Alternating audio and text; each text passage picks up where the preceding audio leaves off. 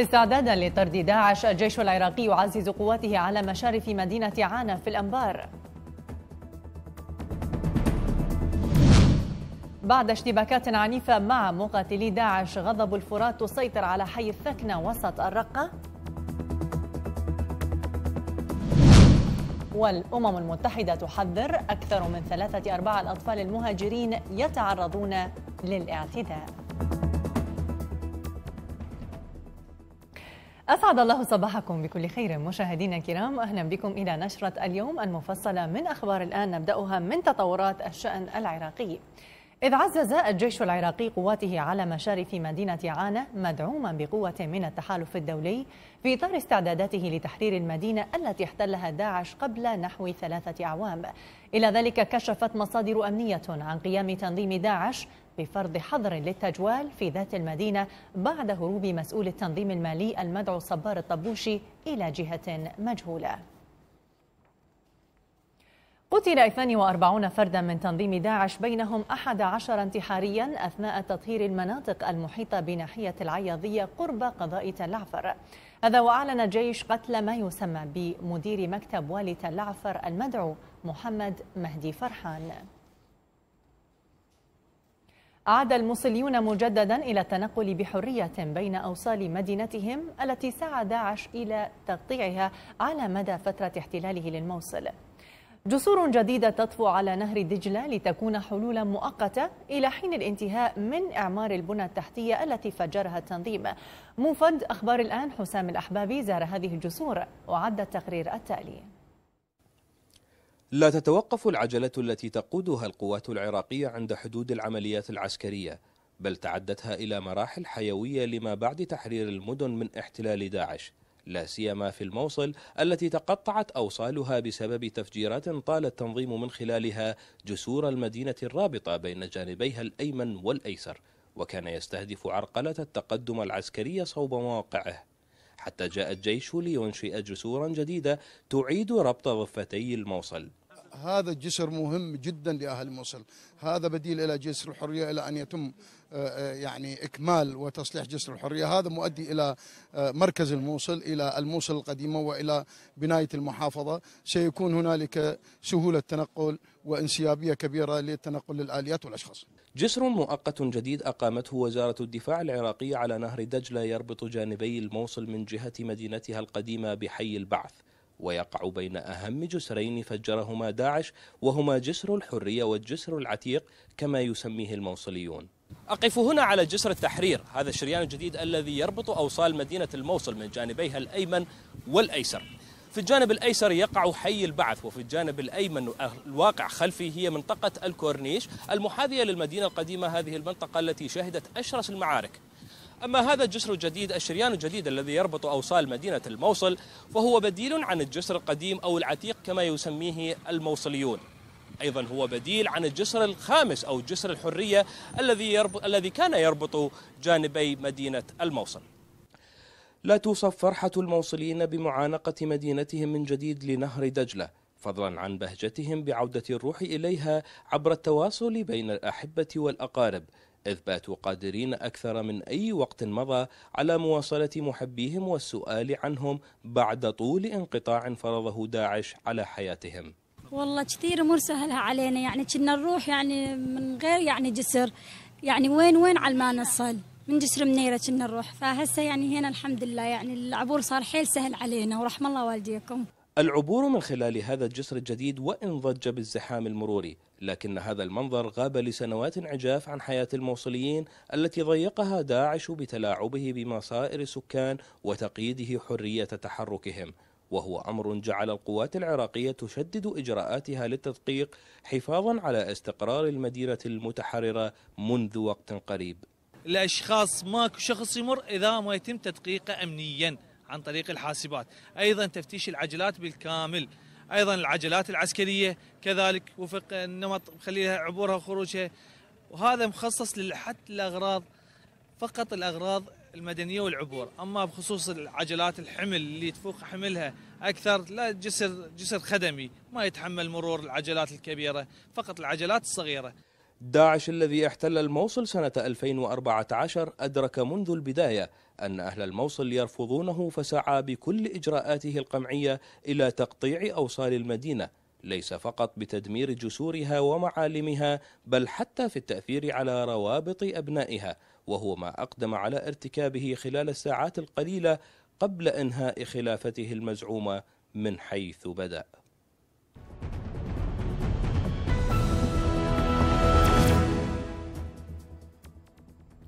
في الشأن السوري سيطرت قوات غضب الفرات على حي الثكنة في مدينة الرقة بعد اشتباكات عنيفة مع مقاتلي داعش. فيما تستمر المعارك على أشدها منذ أيام في أحياء المرور والأمين والمنصور. وأكملت قوات سوريا الديمقراطية السيطرة على أحياء الرقة القديمة التي تعد أهم معقل للتنظيم داخل المدينة. وانتقلت المعارك إلى وسط المدينة. أنهت فصائل سورية معارضة عملية نقل جميع النازحين من مخيم الحدلات إلى مخيم الركبان قرب الحدود مع الأردن بشكل كامل عقب اقتراب قوات النظام وميليشياته منه.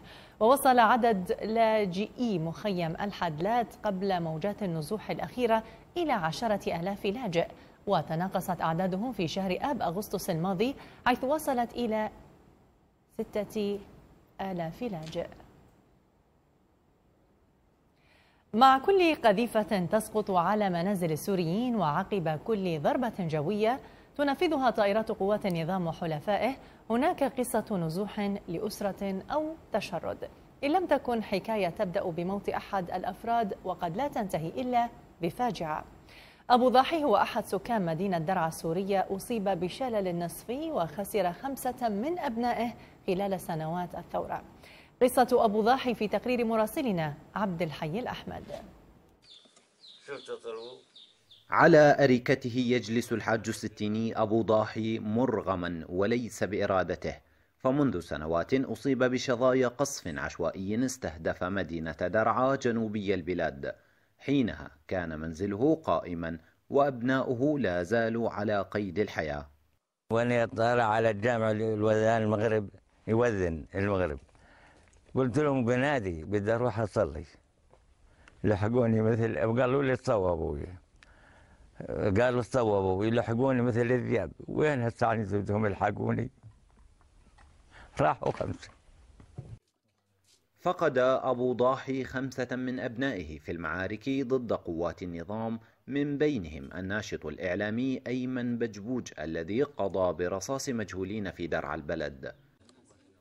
لا تختزل آلام هذا الرجل بشلله النصفي وثكله لفلذات كبده فقط فالمأساة تكمن في التفاصيل. إنهم هؤلاء الأحفاد الذين باتوا يعيشون معه في منزل نصفه قد سوي بالأرض لتتحول حياة من تبقى من أبنائه إلى سباق مستمر خلف رغيف الخبز. حاليا حالتي واقفة. أن أقول لك أنا يا أبو زيد هسه بارك. بتعطى رحمة الله. ما قلت لك هسه أنا آه، أبو الأولاد راح يدبر لهم حق خبزات ما قال لي هذا سوي قهوة؟ كنت بدي أقوم أدربه على على خلقته منين بدك تسوي القهوة؟ قد تكون الحرب قد نالت من جسد أبي ضاحي فأقعدته وكلمت قلبه بأحبابه. إلا أنه لم يخفي دعمه المستمر للثورة السورية فهو كما يقول لم يعد لديه شيء ليخسره. الدور دمرت واللي الشباب دمروها. شو بعد بده يرجع الحكم؟ لا. إن شاء الله. يا بنكون تحت التراب يا بنكون أخذنا النجاح الله نصرنا. هذا اللي بطلبه من الله. تحت ركام هذه المباني تختبئ آلاف القصص المماثلة لسوريين قدموا الغالي والنفيس لنيل حريتهم والعيش بكرامة بعيدا عن سياط الدكتاتورية. عبد الحي الأحمد لأخبار الآن درعا. لنشرتنا بقية مشاهدينا ولكن لنا عودة بعد فاصل قصير.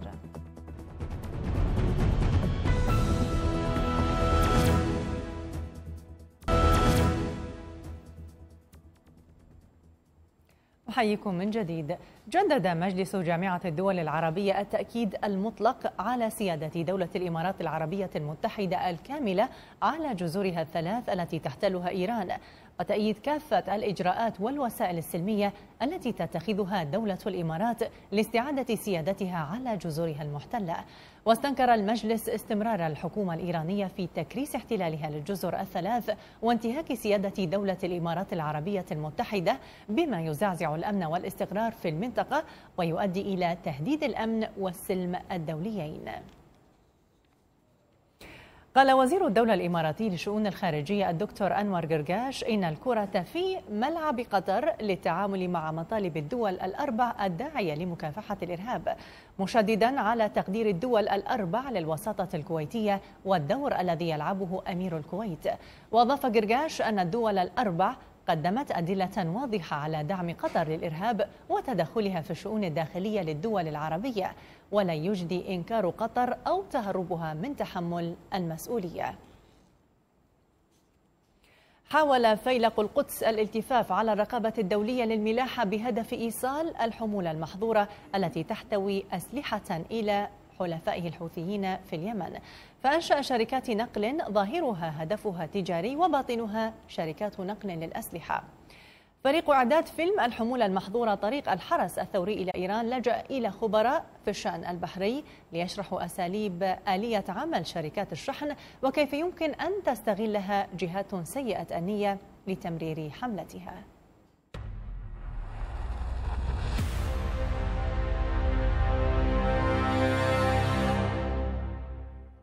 يستخدم الحرس الثوري الإيراني طرقا كثيرة لإيصال الأسلحة إلى حلفائه في اليمن ولعل البحر هو الطريق الأكثر أمانا لإرسال الحمولة المحظورة إلى الحوثيين. ومن أجل ذلك أنشأ فيلق القدس مجموعة من شركات الشحن التي يقارب عددها المئتي شركة إلى جانب بعض الشركات الأجنبية التي استغلها لنقل الأسلحة وغالبا دون علم أصحاب السفن وطواقمها. وفي الواقع تعمل السفن التجارية من هذا القبيل كذراع استعانة بمصادر خارجية للقوات البحرية الإيرانية. إما عن طريق البحر وطريق البحر تنقسم إلى ثلاثة أقسام. إما عن طريق الغواصات وهم يملكون غواصات. تطفو على السطح أو تنزل السطح بزوارق زودياك ويتم تهريب سلاح وتسليم الحمولة. أو أن يتم إلقاء صناديق الحمولة في موقع جغرافي بحري على الساحل ومحدد ويتم إرسال الإحداثيات إلى الشخص المستلم. أو أن يكون بسفن بحيث يتم تزوير منفستو الشحنة. والسفن هذه تابعة ومسجلة لشركات إيرانية وهي في الواقع مملوكة للحرس الثوري وتملأ بالأسلحة. طبعا هنا يجب التأكد أن الحرس الثوري يقوم بغالب الأحيان باستغلال سفن تجارية تتبع لشركات غير قانونية. ما دفعنا نحن فريق إعداد فيلم الحمولة المحظورة طريق الحرس الثوري إلى اليمن لاستبيان آلية العمل البحري من خلال توجيه مجموعة أسئلة تقنية لخبراء في هذا المجال. أه حسب ما قلنا أنه كل بحر يتم رصده لكن عملية تهريب الأسلحة لا يتم تهريبه عن طرق البواخر والشركات المحترمة. يتم تهريبه عبر أه طرق أخرى طرق غير شرعية عبر سفن خشبية عبر آه، سفن آه، غير مأمنة غير آه، قانونية تدخل المواني فيتم تهريبه بالذات عندنا نحن باليمن باليمن نحن نقول عند باليمن. لا يتم إنزاله في المواني لا يتم إنزال السلاح في المواني يتم إنزاله في السواحل. تعرف نحن نحتكم بساحل كبير أكثر من 2000 كيلو ساحل كبير. فيتم شحن السلاح في بواسطة السفن خشبية. أو فيبر جلاس يتم شحنه ويتم إنزاله في في الساحل ولا يتم إنزاله عبر المواني لكن بالحقيقة هناك آلية لعمل شركات الشحن حاول الحرس الثوري الالتفاف عليها لإيصال شحنات الأسلحة إلى الحوثيين. المخاطر اللي تواجه الشحن البحري عند وصول السفينة في في ميناء ثالث هي تحصل أحيانا اختراقات من بعض يعني للأسف من بعض التجار أو الوسطاء بحيث إنه يحصل يعني آه، شحن بضاعة أخرى مع البضاعة هذه بغير البضاعه مسجله رسميا. لكن في التفتيش في التفتيش البحري قبل دخول الميناء المعين في التفتيش في رصيف الميناء يعني نحاول نحد من هذه المشكلة هي ما حصلت الآن بالخالص الحمد لله لكن في هناك رقابة في كنترول على هذا الموضوع. معلومات أكثر عن طرق استغلال الحرس الثوري للسفن التجارية في تهريب الأسلحة وكيفية إيصالها إلى الحوثيين في اليمن سنستعرضها قريبا على تلفزيون الآن في فيلم الحمولة المحظورة طريق الحرس الثوري إلى اليمن. عد الرئيس الأمريكي دونالد ترامب العقوبات التي فرضها مجلس الأمن على النظام في كوريا الشمالية بمثابة خطوة صغيرة جدا مؤكدا أن هذه العقوبات ليست شيئا مقارنة بما يجب أن يحدث في النهاية. في سياق متصل قال دبلوماسي من كوريا الشمالية إن الولايات المتحدة تسير على طريق المواجهة العسكرية مع كوريا الشمالية موضحا أن العقوبات الجديدة التي صاغتها الولايات المتحدة وأقرها مجلس الأمن الدولي لن تنهي الأزمة النووية. كشف تقرير لمنظمة اليونيسف والهجرة الدولية أن أكثر من مئة ألف مهاجر عابرين المتوسط وصلوا إلى أوروبا منذ مطلع العام الجاري. وأكد التقرير أن المهاجرين عبر البحر المتوسط يتعرضون للاعتداء والإذلال بل يصل الأمر إلى حد الاتجار بهم. التفاصيل في التقرير التالي. إنها مآسي وأزمات البحر الأبيض المتوسط الذي تحول في السنوات الأخيرة كطريق أكثر خطورة من بين الطرق البحرية الرئيسة الأربع التي يستخدمها اللاجئون والمهاجرون في العالم. إذ كشفت وكالتان تابعتان للأمم المتحدة أن أكثر من ثلاثة أرباع الأطفال والشبان الذين يحاولون الهجرة إلى أوروبا عبر البحر المتوسط يتعرضون للاعتداء والإذلال بل يصل الأمر حد الإتجار بهم. حيث تتعدد أشكال الاعتداءات التي يتعرضون لها خلال رحلتهم حيث لا يقتصر الأمر على العنف بل قد يكونون هدفا للاعتداءات الجنسية. وأوضحت اليونسف بهذا الخصوص أن ما يقرب من نصف النساء والأطفال الذين تمت مقابلتهم تعرضوا للاعتداء الجنسي في كثير من الأحيان عدة مرات وفي مواقع متعددة من مسار رحلتهم. وقالت منظمة اليونسف ومنظمة الهجرة الدولية في تقرير مشترك إن المهاجرين الأطفال والشبان القادمين من دول جنوب الصحراء في أفريقيا معرضون بشكل خاص للإساءات على الأرجح بسبب التمييز العنصري. واستندت المنظمتان في تقريرهما إلى شهادات 22 ألف مهاجر ولاجئ من بينهم 11 ألف طفل وشاب. وتضاف هذه المعاناة إلى المخاطر الأخرى التي تلحق بالمهاجرين أثناء رحلتهم المحفوفة بالمخاطر مثل الموت غرقا في مياه المتوسط.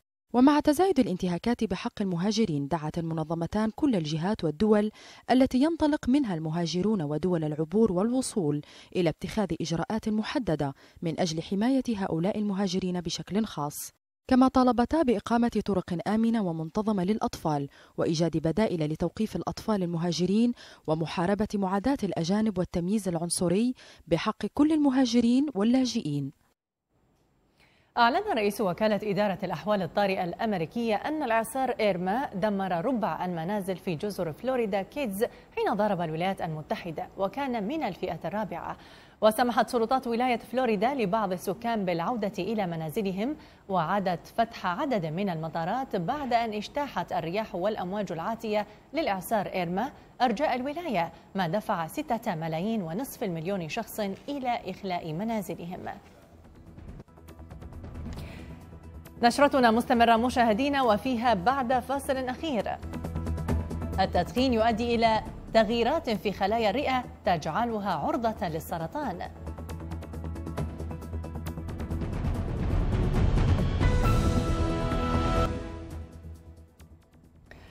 أحييكم من جديد مشاهدينا الكرام ونتحول وإياكم إلى مختاراتنا من الصحافة العربية لهذا اليوم.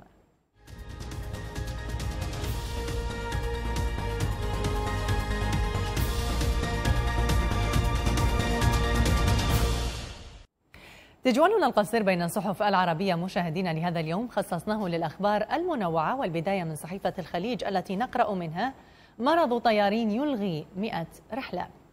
تغيب عشرات الطيارين في وقت واحد لأسباب قالوا إنها صحية عن شركة ألمانية للطيران وهو ما اضطرها لإلغاء 100 رحلة. من صحيفة اليوم السابع المصرية مشاهدين اخترنا لكم مطعم أسترالي ينتصر للسيدات ويفرض 18% زيادة على أسعار طلبات الرجل. في سابقة تعد الأولى من نوعها لتحقيق المساواة بين الرجل والمرأة قام أحد المطاعم الأسترالية في مدينة ملبورن بفرض زيادة على أسعار طلبات الرجل بنسبة 18% عن مثيلتها التي تطلبها المرأة. ونطالع من صحيفة الغد الأردنية الروبوت سيحل محل المعلم خلال عشر سنوات مقبلة. كشفت صحيفة ديلي تلغراف البريطانية في تقرير لها أن الروبوتات من المتوقع أن تحل محل المعلمين والمعلمات في المدارس خلال العشر سنوات المقبلة. ومشاهدين من صحيفة النهار اللبنانية التي عنونت بين صفحاتها لهذا اليوم وقعوا في فوهة بركانية حرارتها ألف درجة مئوية. لقي صبي في الحادية عشر من العمر ووالداه مصرعهم بعد الوقوع في فوهة بركانية في إيطاليا. تصل درجة الحرارة فيها إلى ألف درجة مئوية. وختاما مشاهدين من صحيفة القبس الكويتية منح مصور بريطاني حقوق صورة سيلفي القرد. أنهت معركة قضائية مستمرة منذ سنتين بين مصور بريطاني وقرد إندونيسي. التقط صورة ذاتية سيلفي لنفسه بمنح المصور هذه الحقوق مع ترك حصة من الأرباح المتأتية من هذه الصورة الشهيرة لجمعيات تهتم بالقردة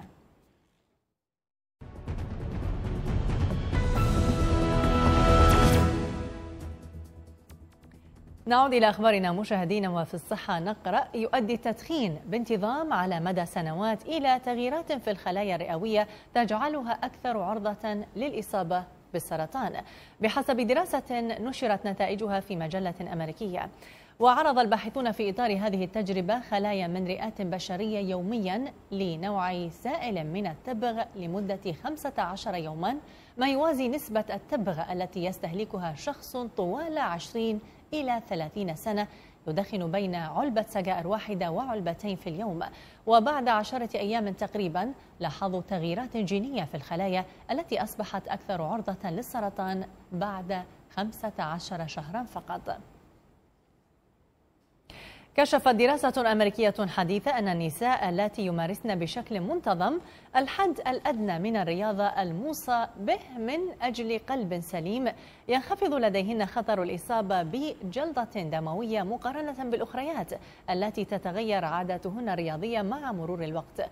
وتوصي جمعية القلب الأمريكية البالغين بممارسة الرياضة متوسطة الحدة لما لا يقل عن 150 دقيقة أسبوعياً. في أخبارنا الرياضية ومع انطلاق منافسات الموسم الجاري من دوري أبطال أوروبا يبدأ أيضا سباق وصراع الأندية للفوز بالجوائز المالية الكبيرة لهذه البطولة القارية الكبرى التي تصل إلى عدة ملايين من الدولارات. قام بتخصيصها الاتحاد الأوروبي لكرة القدم يويفا وفيما يلي نلقي الضوء على الجوائز التي سيحصل عليها كل فريق بحسب الدور الذي سيصل إليه. نتابع.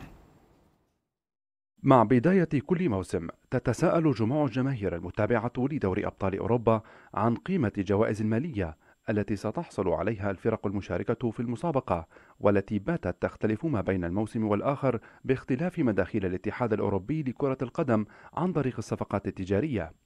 اليويفا كعادتها شفافة بخصوص هذا الأمر وكشفت عن كل تفاصيل عائداتها المادية والجوائز التي ستمنحها للفرق المشاركة في المسابقة. وفي هذا الصدد أعلن الاتحاد الأوروبي عن ارتفاع قيمة مداخيله من الصفقات التجارية خلال موسم 2017-2018 إلى مليارين فاصل 350 مليون يورو وهي قيمة تشمل بطولات دوري أبطال أوروبا الدوري الأوروبي وكأس السوبر الأوروبي. تلك القيمة سيتم توزيع مليار و700 مليون يورو منها على الأندية المشاركة في تلك المسابقات فضلا عن استخدام 12% من المبلغ الإجمالي في الأمور التسييرية والإدارية للبطولة. أما 8.5% من ذلك المبلغ فسيذهب كمبلغ تضامني سيمنح لبعض الأندية التي لم تشارك في البطولة رغم فوزها بالبطولة المحلية في بلادها. كل الأندية المشاركة في دور مجموعات دوري أبطال أوروبا ستحصل على مبلغ مبدئي قيمته 12 مليون يورو فاصل 700 ألف يورو لكل ناد وهو مبلغ قد يرتفع وفق النتائج. أما الفرق المشاركة في ثمن النهائي فستحصل على 6 ملايين يورو إضافية ثم 6 ملايين يورو ونصف المليون إضافية في حال التأهل لربع النهائي وسبعة ملايين يورو ونصف المليون إبان الوصول لنصف النهائي. فيما سيحصل الفائز باللقب على 15 مليون يورو ونصف المليون والوصيف على 11 مليون يورو إضافية. أيضا في الرياضة قاد الأرجنتيني ليونيل ميسي فريقه برشلونة الإسباني لفوز ثري كبير على يوفنتوس الإيطالي وصيف البطل. بثلاثة أهداف مقابل لا شيء على ملعب كامب نو. في الجولة الأولى من منافسات المجموعة الرابعة لمسابقة دوري أبطال أوروبا. بعيدا عن الرياضة بنى شخص بريطاني وأصدقاؤه نموذجا ضخما يحاكي مركبة AT-AT القتالية في حرب النجوم. وبلغ ارتفاع النموذج ستة أمتار واستغرق بناؤه ثلاثين يوما. وبنيت المركبة بمناسبة مهرجان الفزاعات في إنجلترا.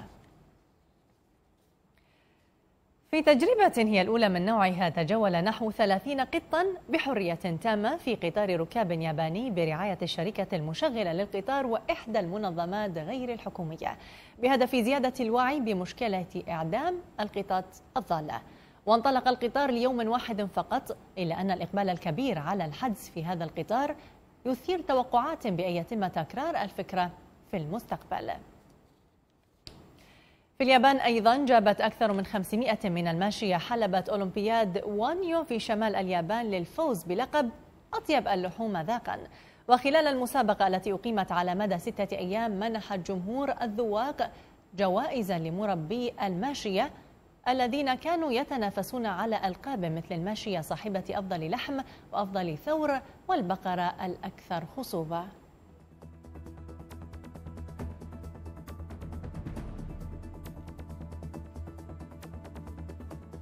وقبل ختام النشرة مشاهدينا هذا تذكير بما جاء فيها من عناوين. استعدادا لطرد داعش الجيش العراقي يعزز قواته على مشارف مدينة عانا في الأنبار. بعد اشتباكات عنيفة مع مقاتلي داعش غضب الفرات تسيطر على حي الثكنة وسط الرقة. والأمم المتحدة تحذر أكثر من ثلاثة أرباع الأطفال المهاجرين يتعرضون للاعتداء. بهذا إذا مشاهدينا الكرام نكون قد وصلنا وإياكم إلى ختام نشرتنا. دائما لمزيد من الأخبار يمكنكم متابعتنا على موقعنا الإلكتروني والتواصل معنا عبر مواقع فيسبوك وتويتر. ويمكنكم أيضا متابعة بثنا المباشر في ذات الموقع.